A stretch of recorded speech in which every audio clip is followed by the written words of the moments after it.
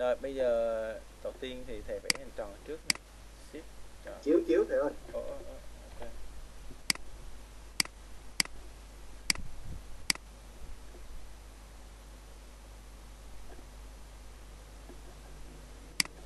rồi vẽ hình tròn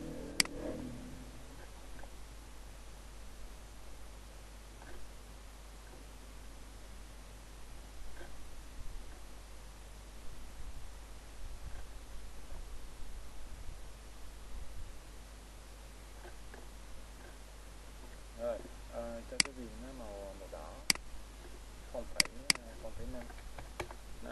như thầy nói rồi cái độ dày của cái này á, mà nó càng nhỏ á, thì nó càng chính xác nhưng vẽ nó càng khó. Và ngược lại nếu là nét nó dày thì vẽ càng dễ nhưng mà nó càng nó, nó, nó không chính xác bằng ha. Rồi à, cái đầu tiên thì nhớ là mình chỉnh lại sao cho nó ok một chút xíu.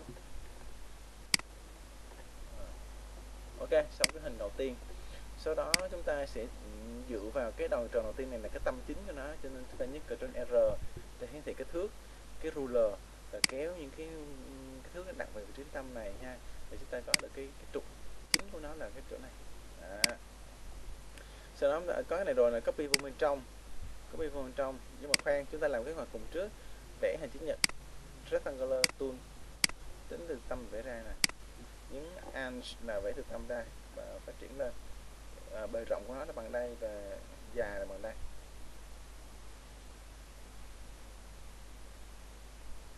Rồi vẽ xong rồi chúng ta có thể nhấn uh, chỉnh lại cho nó. Mỗi lần chỉnh thì nhớ nhấn Alt uh, à, để nó chỉnh hai bên nó rộng thì rộng hai bên, xuống thì xuống hai bên.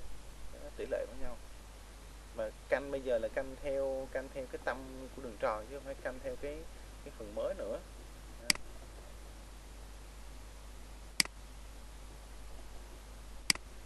Chúng ta sẽ ờ, cân đối lại chút xíu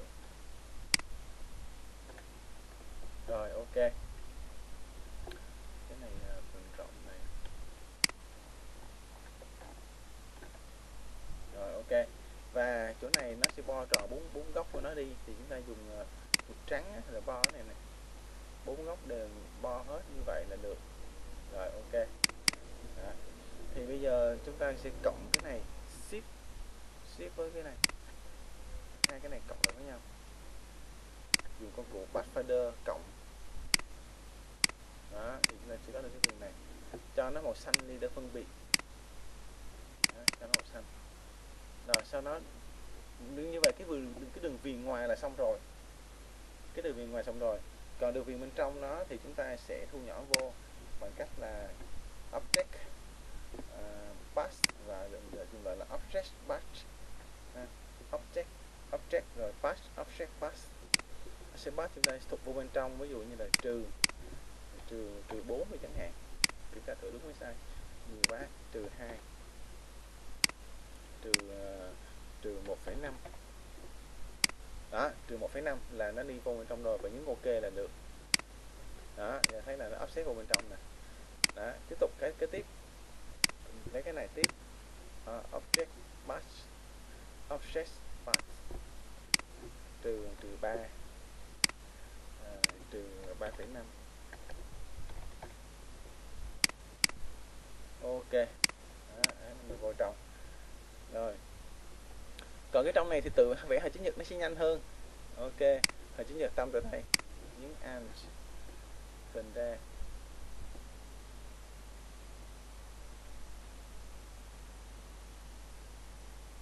Rồi, sau đó chúng ta sẽ bo tròn lại với nhau.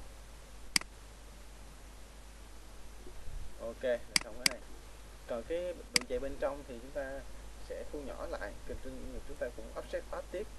Object batch offset batch à, cho nó là trừ 0,5 để xem đúng sai trừ 1 đi. Trừ 1 ok ok trừ 1 đó. Ok ờ, những cái khung viền này gần xong rồi. À, kế tiếp cái chỗ này. À, có khung viền. Rồi khung viền xong rồi chúng ta tạm thời chúng ta mang qua bên đây để chúng ta mang ra ngoài đã rồi tính tiếp à, ship bỏ cái thước đi à, bây giờ chúng ta kéo ra ngoài này những ship. Thì kích thước của nó là tầm chắc là tầm 200 202 203 gì đó. 200 203 mm đi. Đó đó là một cái ờ, bước nhảy của nó. Nên là chọn hết những gì chúng ta vẽ chúng ta sẽ bỏ hai thước này đi và nhảy sang bên phải.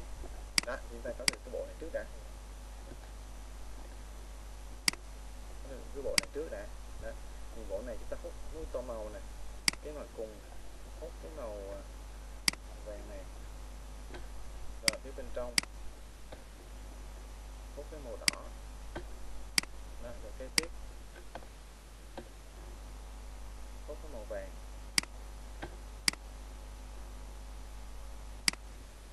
hút cái màu nâu